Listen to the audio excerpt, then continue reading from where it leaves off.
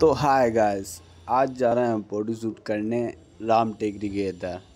और चलिए आपको राम टेकरी के इधर फ़ोटो शूट एंड लोकेशन दिखाते हैं।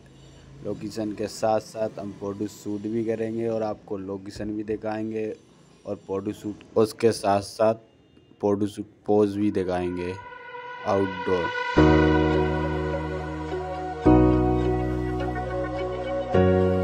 तो गाइस हम पहुँच चुके हैं फ़ोटो शूट करने हमारी लोकेशन पर और हमारा काम अब स्टार्ट करते हैं।